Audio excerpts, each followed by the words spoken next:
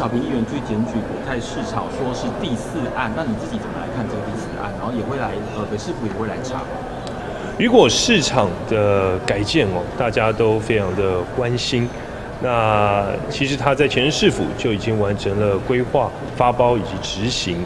那大家会关心当时的整个决策过程是否有问题？那这一切都可以接受民众的检验，接受议会的监督。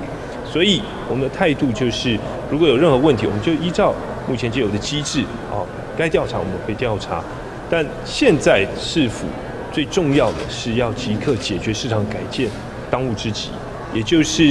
批发市场，它是公共事公共事业，我们必须要赶快来稳定，还大台北地区包括渔货还有蔬果的供应。啊，我想这个是以市民权益为最优先考量。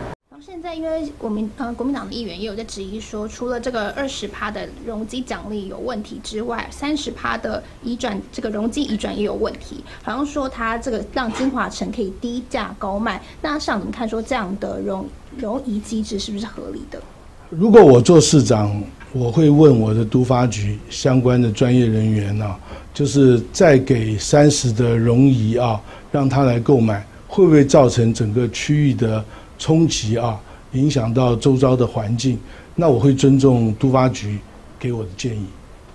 是想请教，因为关于都发局，你刚刚有提到说，在金华城案子，都发局长、正副局长都有守住。那后来是那个监察委员是不是推翻了，就是郝师傅那时候的一些判断？没有，我任内的时候，监察委员我刚才也讲了，我任内的时候，两位监察委员调查完，经过我们呃回复以后。他们给我们的回复是，他们尊重我们当初的决定。换句话说，就是当时我们坚持容积率还是百分之三百九十二，而且呃，这个它楼地板面积啊是一次性的呃奖励啊，后面不可以适用。监察委员是尊重的，并没有提出任何异议。因为上一次这个柯文哲他前市长一次开完记者会之后，你在脸书说自己昼夜自己担，那你现在还是会呼吁说他可能出来讲清楚吗？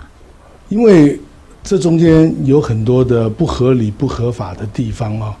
呃，我觉得他当时是主政的市长，他有必要把这些事情呃说清楚、讲明白，给所有的市民跟外界的质疑一个交代。所以现在看完他整场，就觉得他好像在转移焦点的感觉。我没有看他的，就是上一场记者，呃，他那一场记者。很抱歉，我没有看他的记者会啊。不过，呃，我觉得他讲转移焦点，事实上，我想是他自己想把这个焦点转移掉。可是，我相信现在外界关注的力道这么大，他是不太可能呃规避这些问题。我我建议他勇敢的面对，不要再逃避了。看？说因为先前柯文哲有说，就是因为蓝绿都不敢查台智光，所以把这个焦点放在金华城跟北市，可说这样是围魏救赵。呃，我想台智光这个事情没有敢不敢查的问题，我相信检调一定会查，因为现在呃已经有议员被收押了嘛，这已经证明检调在查，而整个台之光的问题主要出在呃租约的费率啊。那费率为什么高于母约这件事情？呃，柯柯市长的决策过程，我觉得应该要做清楚的说明。那现在找不到公文，那公文到底在哪里？我觉得大家也应该好好查一下。不过，因为民众党那边还是只说是签了这个二十五年的母约才是问题，会不会觉得也是在转移焦点？呃，我刚才已经清楚的说明了，二十五年的母约我们签的时候是因为 BOT 案，我们没有花一毛钱。而这个台智光，它协助我们建制光纤到府这个计划，而且在我任内的时候，我们只有四个行政区完成了建制，所以换句话说，我在任内完全没有花任何钱啊。那另外更重要的是，就是我们这个母母约中间签了几件事情，第一个就是中华未来我们台北市政府跟呃，台之光签台北市政府相关局处的子约的时候，你费率必须要低于中华电信的百分之九十五，而一般市民啊，如果跟台之光签约，费率要低于中华电信的百分之九十，我们设了上限。还有可能大家都没有提到是台智光如果如果有违约或者违法的情形啊，我们可以直接把台之光所有的建筑建制收归市政府所有。所以这个母月中间，我相信绝对经得起考验啊。呃，所以也绝对不是转移焦点或者别人不敢来查的问题。像这个金华城案，就是说柯文长要透过两份专签直接交办都发局来放宽容积。那昨天都发局长好像也判断认为是这样，所以接下来政府还会查这一块吗？金华城这个案子啊，因为大家也知道，很早之前啊，一开始先经过监察院的纠正，恢复到容积五百六，然后后来。啊，这个现又再增加，好百分之二十加百分之三十到八百四。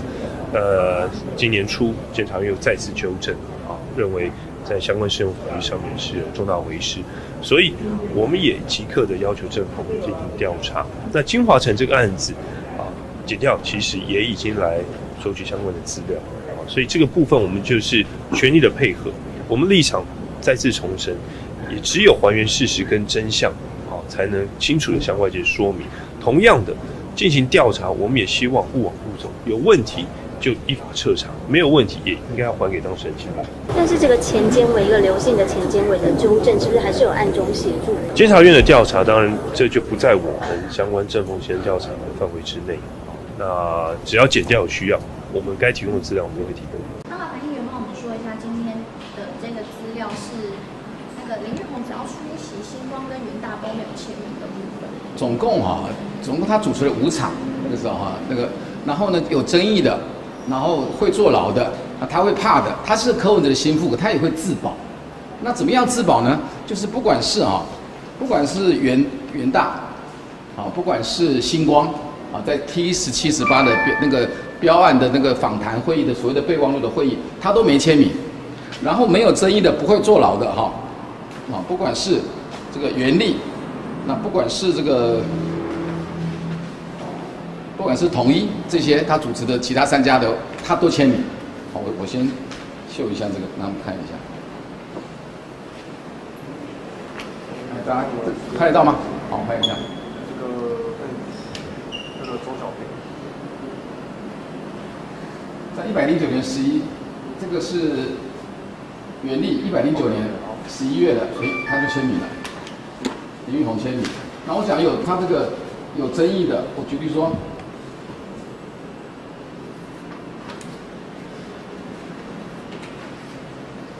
像元大，在一百零九年十二月十六号，啊，林玉红，台北市政府林林秘书长玉红签名就是空白，有争议的，因为元大闹双包有争议啊。来再来，星光。这这个争议当然最大，他因为这个案子而变成被贪污的被告柯文哲，在一百零九年十一月十一号，跟星光的这些他们来来标案在谈事情，主持人是林玉红，后面竟然连连主持人那个空格都故意在做表格说没有，也没签名，这就是林玉红的自保，他怕被科背黑锅去坐牢，他的自保运动。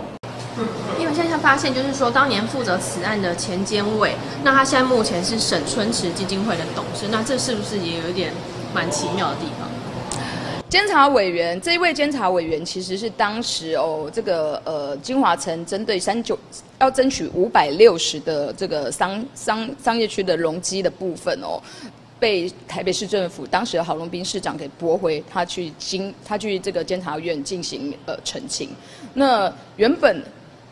调查此案哦的两个监察委员，因为任期满，但接已经完成调查报告没有写完嘛，吼。但这个委这个监委后续接任，把这个所有的报告把它写完，但他写完了，跟前面两个委员调查的东西，其实内容是完全相反的哦。前面两个委员认为金华城的澄清是没有道理的。但这个委员居然认为金华城应该要给到五百六十的容积，因此而发文纠正，要求台北市政府必须要给金华城五六零。结果现在发现，